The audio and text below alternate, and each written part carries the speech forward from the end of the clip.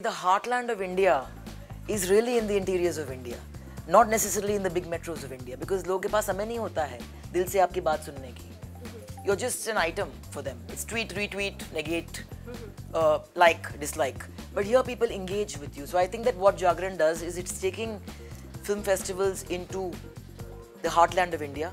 ये film festivals के around एक पता नहीं बहुत ही बड़ा एक मिस्टिफिकेशन प्रोसेस होता है कि film festival is for intellectual and that's why I abhor anything that is intellectualise beyond the point I am like simplified people ask me कि आपके तीन फेवरेट फिल्म्स कौन से हैं? पाँच तो मेरी टॉप थ्री थे मिस्टर नटवर लाल दो और दो पाँच, और Amar Amar Akbar Anthony.